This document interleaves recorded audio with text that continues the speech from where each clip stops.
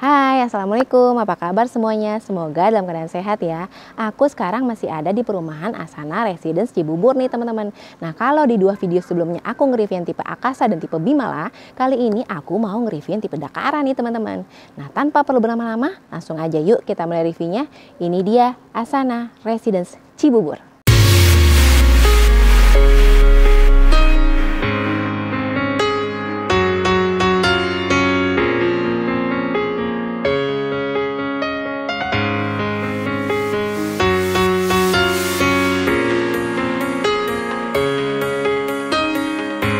Oke, ini tampak depan rumahnya ya.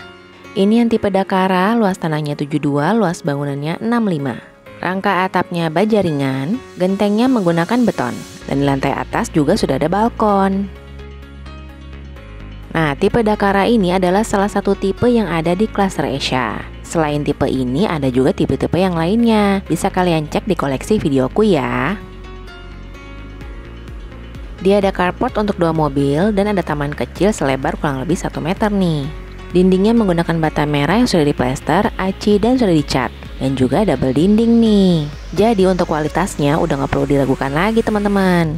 Nah bisa kalian lihat di sini ya, jadi jendelanya itu emang ukurannya besar-besar banget nih teman-teman. Dan bisa dipastikan pencahayaan di rumah ini sangat maksimal. Kerennya di rumah ini, pintunya sudah menggunakan smart door lock system teman-teman.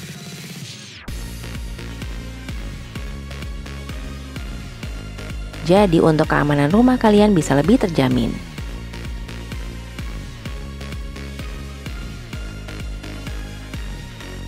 Oke kita masuk ke ruang utamanya ya. Jadi ruang utama ini merangkap ruang tamu, ruang makan, dan dapur. Ukurannya 6,7 x 3 meter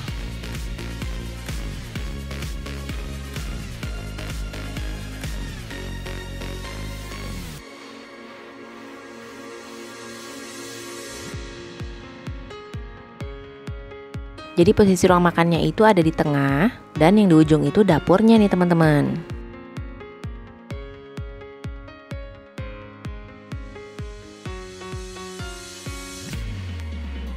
Kamar tidur 3, kamar mandi 2. Nah, yang di sana itu posisi kamar tidur yang pertama nih teman-teman yang ada di lantai bawah.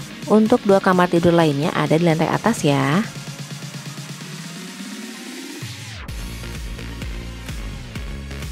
Untuk ukuran kamar tidur yang ada di lantai satu ini 3,1 kali 3 meter.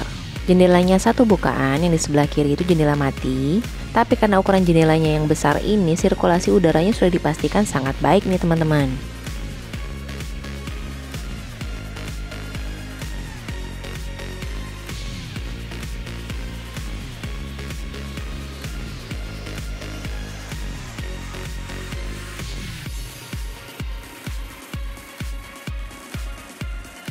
Lanjut ke bagian kamar mandi yang posisinya ada di sebelah kamar tidur yang ada di lantai bawah ini nih teman-teman.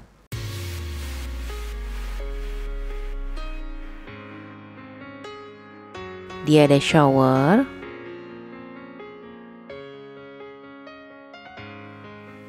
Klosetnya duduk dan ada jet shower di samping kloset dan sudah tersedia ventilasi ke halaman belakang. Jadi sirkulasi udara di kamar mandi ini tetap baik ya teman-teman. Dan pastinya untuk sanitarinya menggunakan bermerek semua dong. Lanjut kita ke halaman belakang.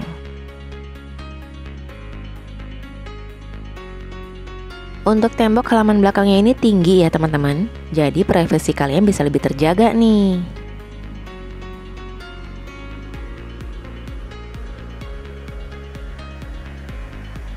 Di bagian ini juga disediakan tempat khusus untuk menaruh mesin jet pump.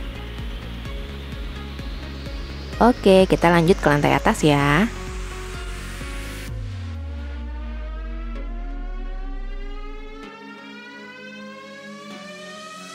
Jadi yang di depan itu kamar utamanya dan yang di sebelah kanan ini kamar anak. Kita masuk ke kamar tidur anaknya dulu ya. Ukurannya 3 kali 3,5 meter.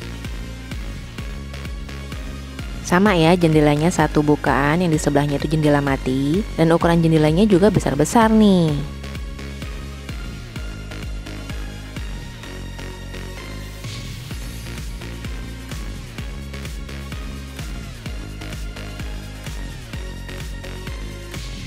Nah, sekarang kita lanjut ke kamar utamanya ya. Untuk kamar tidur utama ini ukurannya 4,1 kali 3 meter.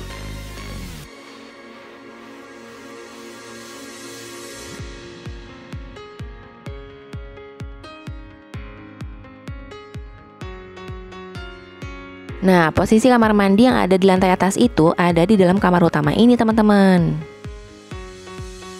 Sama ya, masih menggunakan sanitary yang bermerek semua nih.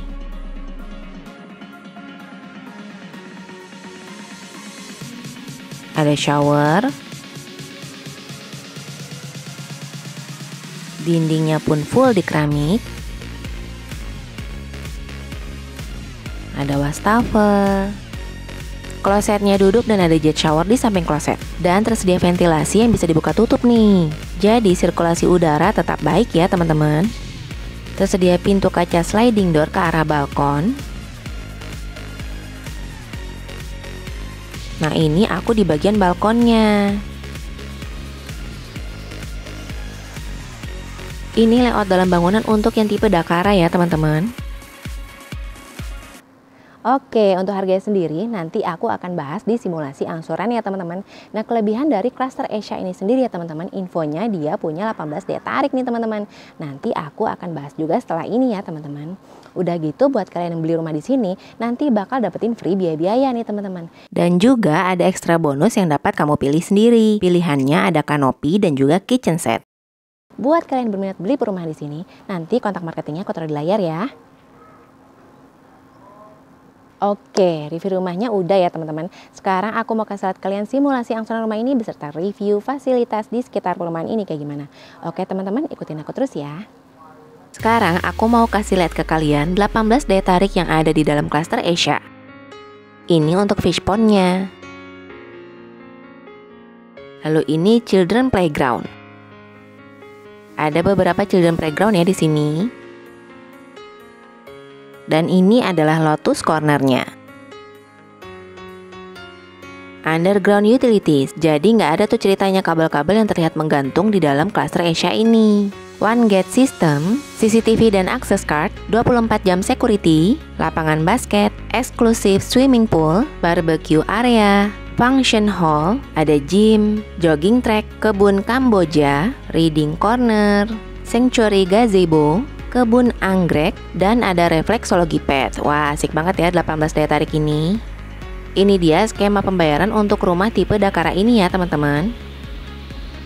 Nah, sekarang kita lihat nih dari atas kawasan perumahan Asana Residence Cibubur ini nih teman-teman. Jadi perumahan ini tuh dibangun oleh developer Atera Land. Sejak tahun 1995, Atera Land Group sudah membangun lebih dari 4.000 unit rumah berkualitas di kawasan Cibubur dan Depok. Dan developer ini akan terus melakukan pengembangan proyek properti di kawasan-kawasan lain di Indonesia.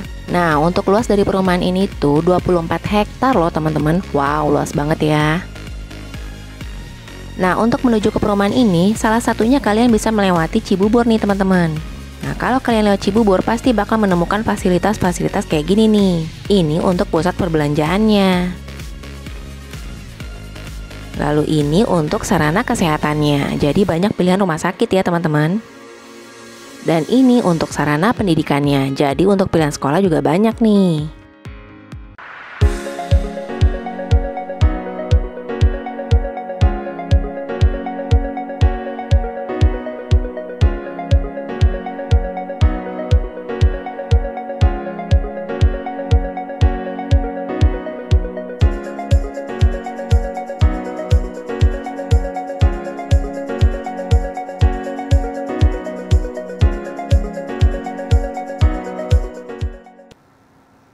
Sekian teman-teman review perumahan Asana Residence tipe Dakara dari aku. Semoga infonya cukup lengkap ya. Terima kasih sudah menonton video ini sampai habis. Assalamualaikum warahmatullahi wabarakatuh.